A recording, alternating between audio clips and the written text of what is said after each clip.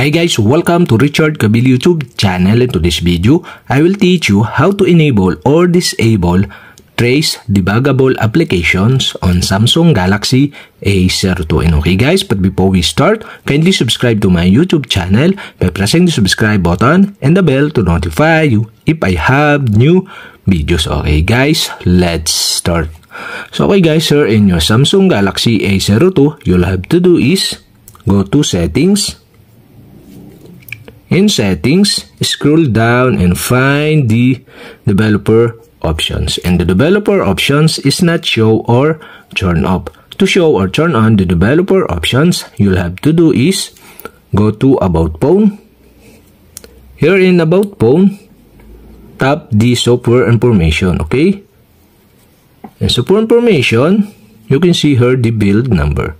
And okay guys, to show or turn on the developer options, you'll have to do is tap the build number 7 times. 1, 2, 3, 4, 5, 6, 7.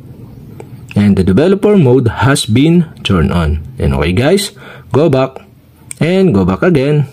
And now here in settings, you can see here the developer options. Okay, you can see below. You'll have to do is tap the developer options Here in developer options, scroll down and go to debugging section. Here in debugging section, okay, you can see here the system tracing. And okay guys, you'll have to do stop the system tracing.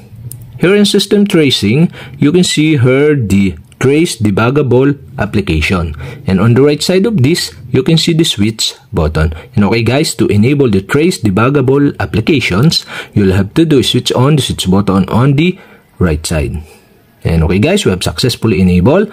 And to disable again, you'll have to do switch off the switch button on the right side.